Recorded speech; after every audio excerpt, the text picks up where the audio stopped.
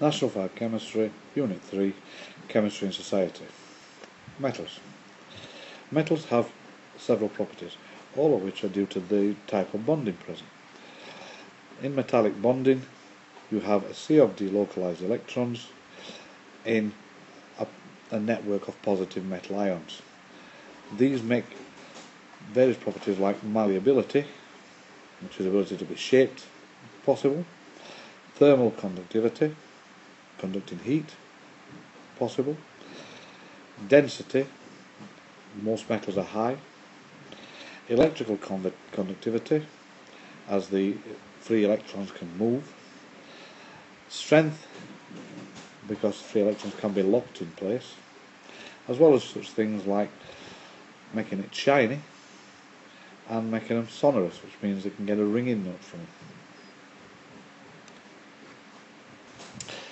Metals can be found native, i.e. unreacted, i.e. still as metals, in normal world. These metals, such as gold, silver, are found unreacted because they are very unreactive. Most metals, though, are found combined in compounds with other non-metals. If a metal is found in a compound and there is enough metal present within that compound to make it worthwhile extracting the metal, it is called an ore.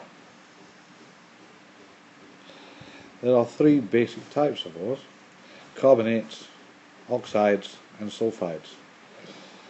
Examples are hematite, iron oxide, bauxite, aluminium oxide, galena, lead sulfide, cinnabar, mercury sulfide, and malachite, which is copper 2 carbonate. To obtain, to obtain a metal from its ore, extract it, there are several methods. First one, obviously, if the metal is unreactive, it is found native, i.e. as the metal.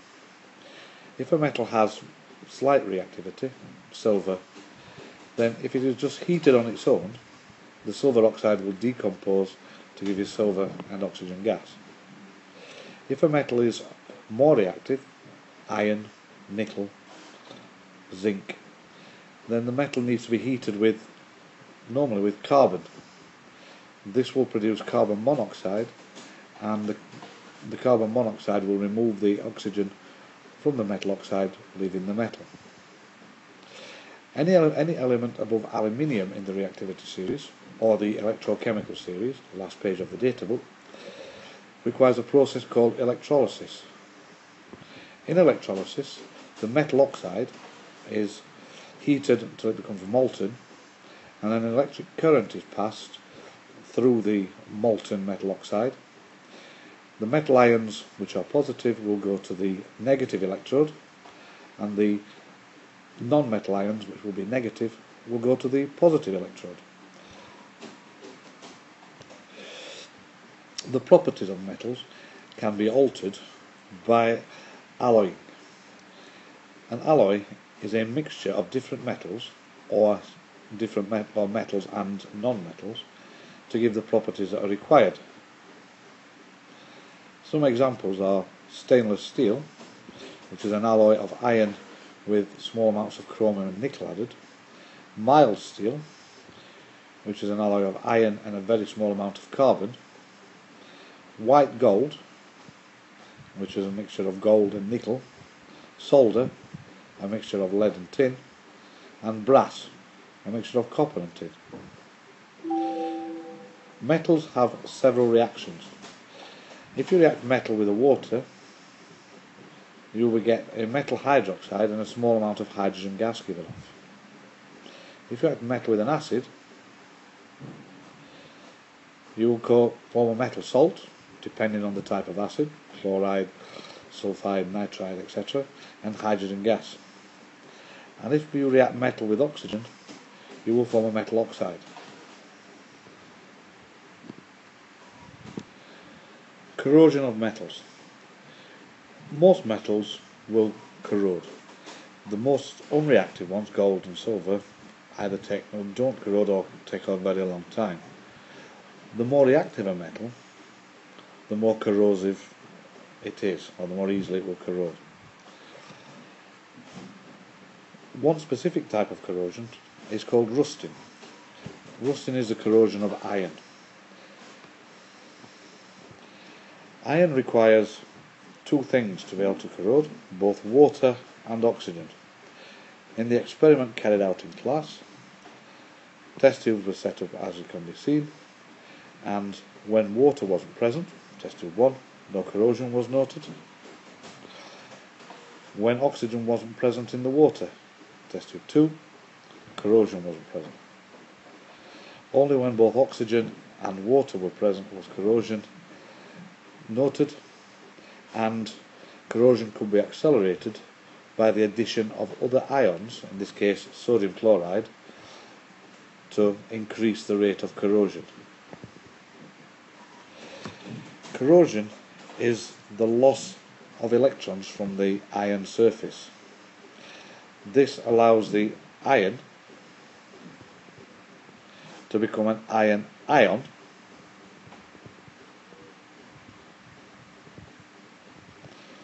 and so that will dissolve into the water.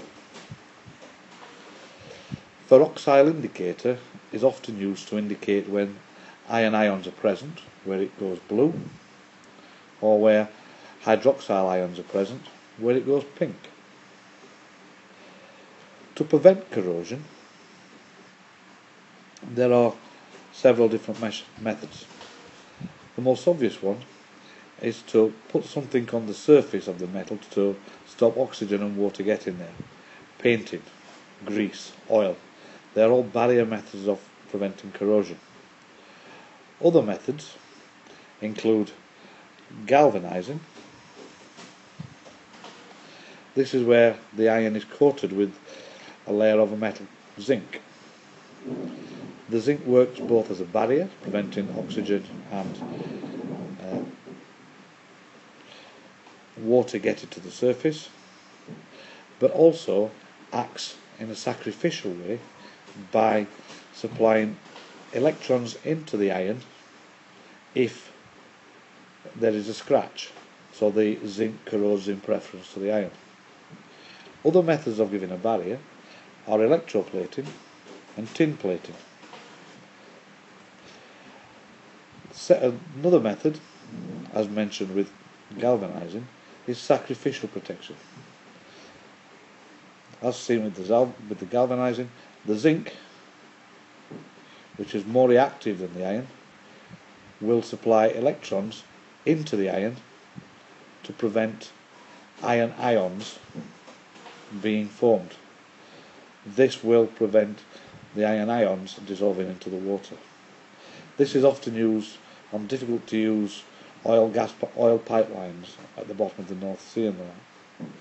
This is due, as we will see in the generation of electricity, because higher metals in the electrochemical series, last page of the data book, will donate electrons to lower metals in the electrochemical series.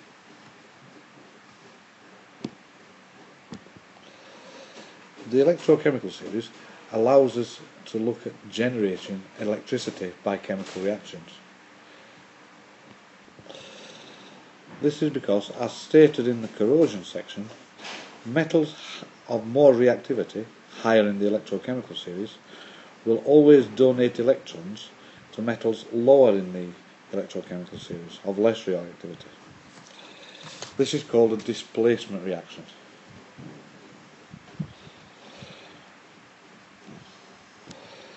and will result in a solution of one metal ion, the, the more reactive metal being added to it, kicking out the less reactive metal ion. An example is adding magnesium to copper sulfate will result in the formation of magnesium sulfate and metallic copper in, at the bottom of the test tube. This means it is possible to set two pieces of metal in a solution of ions if you connect them by a wire between the two you will form a simple battery as long as the two pieces of metal are different. This will allow electrons to flow from the higher, magnesium,